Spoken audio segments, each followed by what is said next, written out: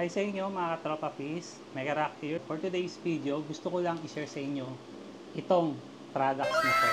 Naalala nyo, nasa Mystery Maleta, isa ito sa mga nakita ko. Okay din to sa mga nagda-diet. Ibubudbud mo lang ito sa rice. Ang tawag pala dito is Furikake Japan Toppings. Nung natikman ko to, kanin lang okay na. Ito ang itsura niya guys. Yan. Ilang beses mo itong mga gamit kasi may sealed din siya. Oh. So, ibubudbud mo lang ito. Promise. Para ka nang nag-ulam. Pakiramdam ko walang cholesterol siya.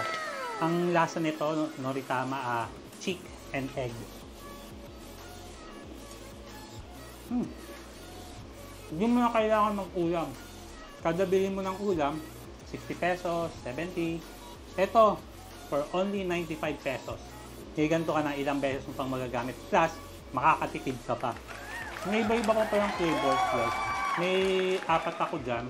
Hindi ko nagustuhan yung ano, yung nila sinasawsaw sa sushi. Basta yung gano'n yung kulay green. Gan Ito, meron siyang ang flavor to. Ang tawag dito, bonito. Pero parang isda siya eh. Ayan no, parang dried fish. Tikman ko na rin. Ngayon ko lang titikman ito guys. Yung wasabi pala. Yung kulay green na wasabi. Kaya, sobrang ano, wasabing wasabi siya mismo. Matapang. For only 95 lang. Bubusog ka na talaga. Hindi mo na kailangan mag bumili pa ng ulam. Ilang beses mo pa magagamit. Okay na okay ito sa mga sa trabaho. Hmm. Isda. Ganun siya. Ang sarap. Gasa siyang bango. Etong tatlong flavor ang na. Ito natikman ko na eh. Ang tawag dito guys, sukiyaki or beef. Ang gawin nyo lang guys, kapag nakapanood nyo ito, picturean nyo lang ito gamit yung Shopee, tapos lalabas na siya. Gamit yung Shopee ah, lalabas na kagad siya. Ito naman, beef. Beef flavor talaga mismo. Solid. Hindi mo na kailangang bumili pa ng ulam dyan. Makakatipid ka na, nakaka-diet pa. Alright, okay. Sarap to guys. Sa mga gustong magtipid dyan, ganito bilhin ninyo guys. Promise, solid. Pwede nyo yung search na Budbod Cookie Rake Japan Toppings. Ito siya eh. Ganito. Yan. O kaya, pwede nyo naman itong picturean. Yan. Para lumabas, mag-appear ka agad sa, sa Shopee. Yan, gawin nga. Kanin lang, saka ito. Overall, ang pinaka nagustuhan ko sa kanya guys, ito. Yung beef. Sarap talaga. Ito naman pangalawa ko. Chick and egg.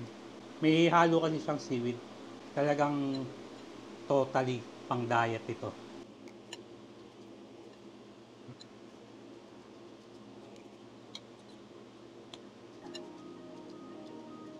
Biruin nyo, mahal na yung pork, mahal na yung manok, di ba? Ito lang, ilang beses nyo magagamit. Ibubudbud nyo lang. Tapos sa mga planong mag-diet, okay na okay to. Tagal kong inantay din to eh. Nung, natikman ko to, sinerch ko kagad. Ang dami sa Japan. Direct from Japan. Okay na okay siya. Itong fish, next time na to. Mas trip ko ngayon yung ano eh. Yung chicken egg. Ano? Ganito lang sa guys ko. Yan, ganyan lang siya. Tapos, mm. sobra. Makakatipid ka talaga. Okay siya guys. Yun lang guys, sinay ko lang sa inyo. Siguro ilalagay ko na rin yung link para hindi na kayo maghanap ng picture. Ilalagay ko na yung link sa description. So yun lang guys. Thanks for watching. Bye-bye.